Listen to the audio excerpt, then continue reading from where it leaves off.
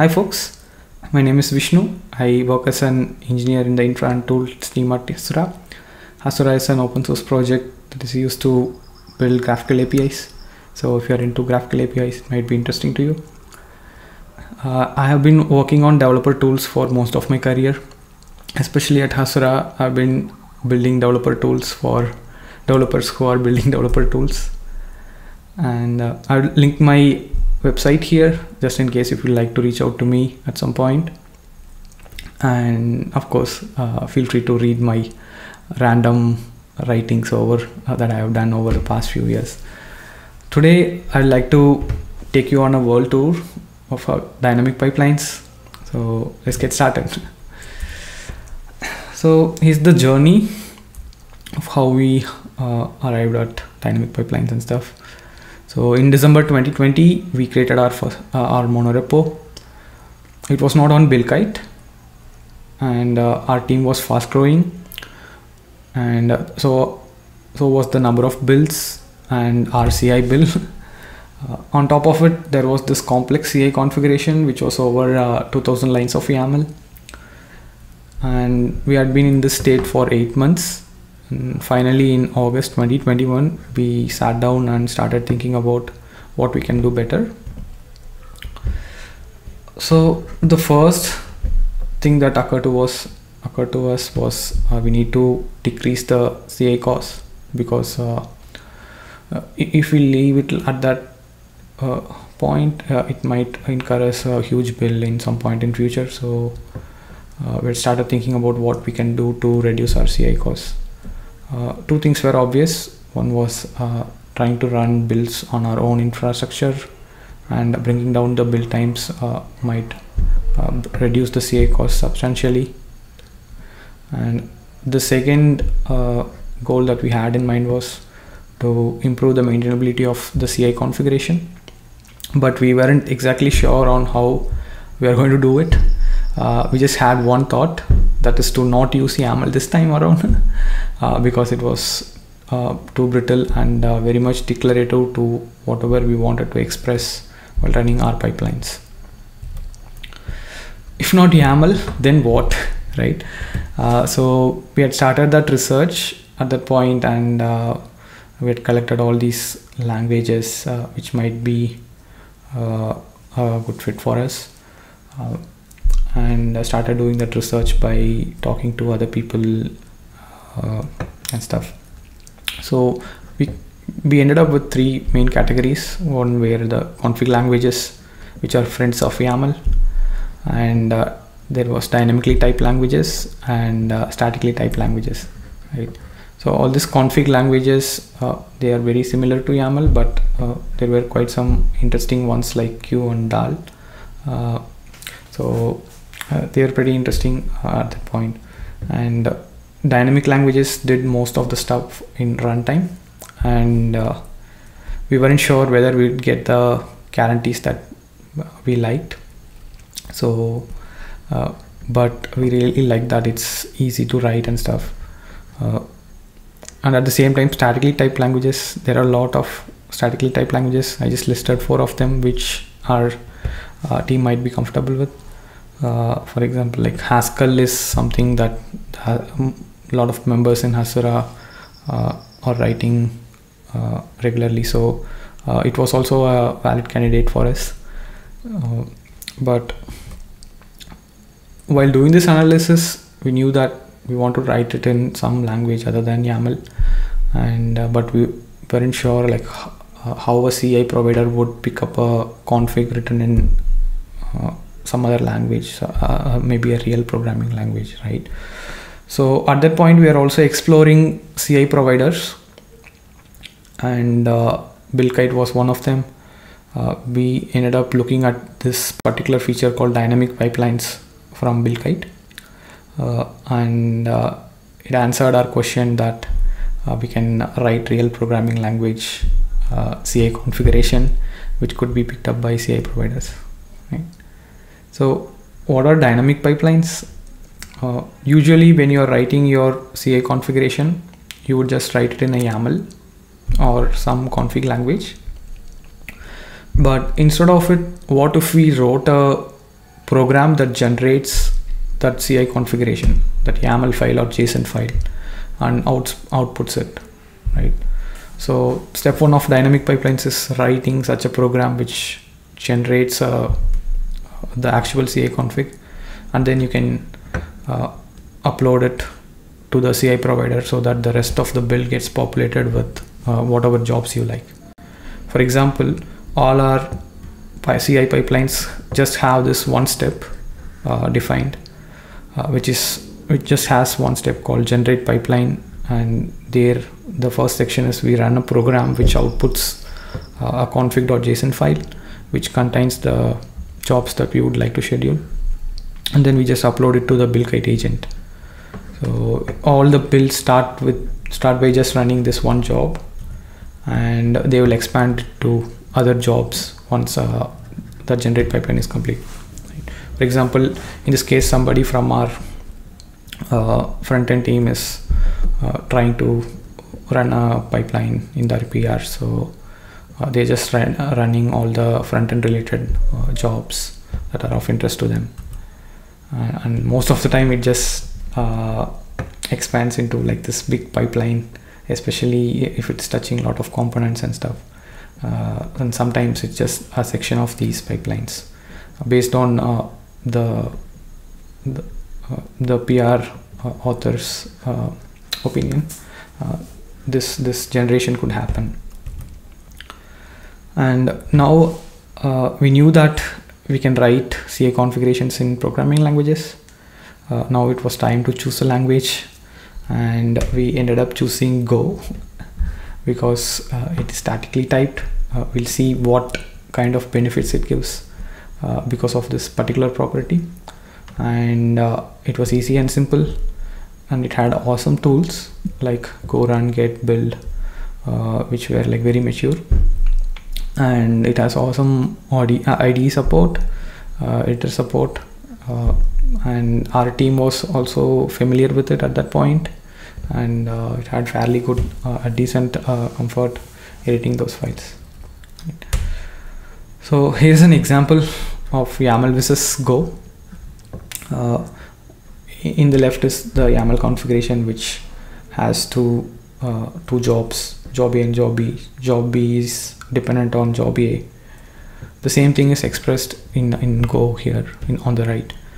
Uh, if you notice uh, we had made sure that the DSL library uh, has like one-on-one mappings with uh, whatever buildkite documentation says. Like for example key label command all these properties are present in are defined by the buildkite uh, docs right so we had done the exact same mapping so that people feel comfortable adding new fields uh, and uh, generally like it, it gives the feel of just writing YAML but it's just not YAML.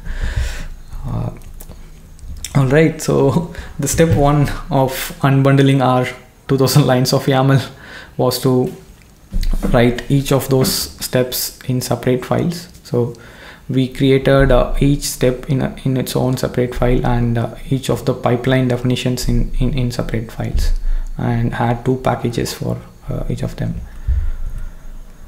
Now that kind of uh, gives us interesting possibilities.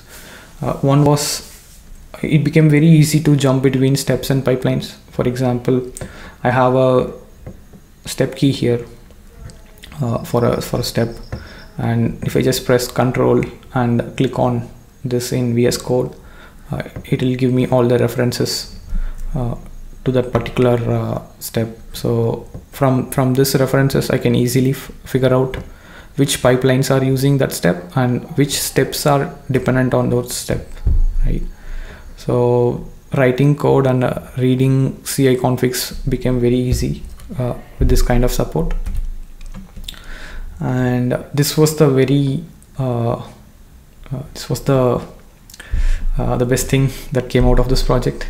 It was strict guarantees. So let's say that I, I have deleted a job but that job was uh, dependent was a dependency for many other jobs right? And I forgot to remove the references of that job. Now uh, if I do something like this in our current setup what would happen is uh, if you try to run uh, our CI generating program in local, uh, it would just throw compiler errors. And you don't have to push CI configurations every time to, uh, you know, as a commit and trigger a build to actually test the CI configs. Instead, a lot of validation can happen at compile time in your uh, local development. So this is what these statically typed languages uh, help us achieve. And uh, uh, this is particularly interesting because I've seen people, developers, uh, use this kind of flow where they just edit, uh, like add like five, four jobs, uh, or remove some jobs or edit jobs with with support of running things locally. And it had been like generally very nice to have it in our toolkit. So other thing is it seems like we can start reusing steps between pipelines since we have defined them separately uh, and self-contained them. For example, this is our uh, this is one of our bi-weekly release pipelines. Uh, here, if you notice, there is a job which publishes some uh, front-end assets, uh, and the same job is getting used in a different pipeline called a hotfix pipeline which could be triggered at any point in time if the front end team wants to fix some critical bug fixes. So it's the same code, uh, it's the same job, it's just attached to two different pipelines. Uh, so this kind of reuse was uh, easier now. And next thing is this ahead of time testing. So uh, this used to be a problem for us, especially when we are uh, doing that 2000 lines of YAML. Uh, let's take this pipeline. For example, this is a this is again the same biweekly pipeline, uh, which uh, there is a release gate job which gets triggered once all the tests pass. Uh, whatever is present before the release gate runs on every PR builds and main branch builds. Whatever is present after the release gate they just run during the uh, release bi-weekly right? So uh, what would uh, happen often is like if somebody introduced a new job here or they modified some logic in jobs uh, after release gate uh, we would get to know it only on the release day and we would fix it on the release day right? That was uh, that was not a very pleasant experience. And we had started thinking like how we can prevent that kind of errors right uh, it seems like plain old uh, unit tests were the answer to that. Uh, for example, in this pipeline, we are pushing multiple uh, Docker manifests, right? And this unit test, what it does is just make sure that all the manifests that we like uh, are getting generated, right? We have jobs for each of them, and each of those jobs are getting inputs of right manifest names right so another thing that we did was uh, for every job after release gate we also created a separate pipeline uh, which would trigger just that job or a set of related jobs too right? in that way if something goes wrong uh, we can write a fix in a different pull request uh, in a different branch and uh, trigger that that pipeline which just triggers that release uh, that release job. Uh, so that it, it's faster to uh, fix problems and also uh, we get a PR ready to get it merged. So we started with that kind of workflow uh, but it, we figured out that writing unit tests and uh, we we do run these tests in the generate pipeline step. So if something is going wrong we would catch it even before the pull request uh, gets merged uh, which was uh, pretty nice. Like going from uh, fixing it on release day to uh, fixing it even before the PR gets merged was uh, was was really good. And finally I'd like to introduce you to this concept called recursive dynamic pipelines. By the way I just invented this terminology uh, while preparing the slides.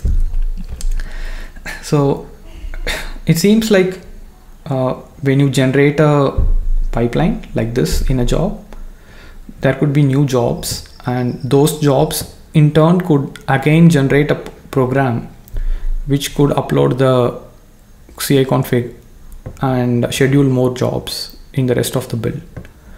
Uh, so this kind of uh, this way of using dynamic pipelines seems to be uh, very helpful in some complex scenarios. For example, I'm going to show you our uh, uh, bi-weekly release pipeline that we do, which uses this technique. So we have this job which generates the uh, the, the build, right? So it generates most of this. For example, uh, there is a job which builds an AMI, and there is a job which which uh, so this is a manual gate which needs to be unblocked to deploy to our staging environment. And uh, if you see there is another job called generate deploy configs which is going to look at all the clusters that we have running in our staging and uh, uh, generate new Buildkite jobs for each of those clusters and uh, schedule them right? So for example the same generate deploy uh, configs job for prod is here. Uh, it's not uh, you know it's not run yet. So uh, only when we unblock this manual gate uh, it will go ahead and you know generate the deploy configs for all the clusters in our prod so this is the second build Buildkite upload that's happening right so with this kind of dynamism what it enables is for example we use concurrency limits right? for example if there are 50 clusters uh, using Buildkite concurrency would just uh, like deploy three three clusters so that we don't uh, uh you know uh, overload our API during developments sorry deployments so these kind of neat uh, use cases this dynamic recursive dynamic pipeline helps us and finally if you'd like to try out uh, whatever we have discussed so far. Uh, we have uh, built an open sourced the Go D DSL library that we that that was our past one and a half years of learning. So do check it out and and try it out and and especially like uh, there are new tools coming up like dagger and stuff where uh, i'm noticing that uh, this kind of library based and uh, you know programming language based configuration of CI uh, is being enabled. So I think uh, this is going to be uh, the new norm for uh, building larger pipelines and stuff. Right. All right. Uh, thank you. Thank you for uh, tuning in. I, I hope you, you have a good conference. Uh, thanks.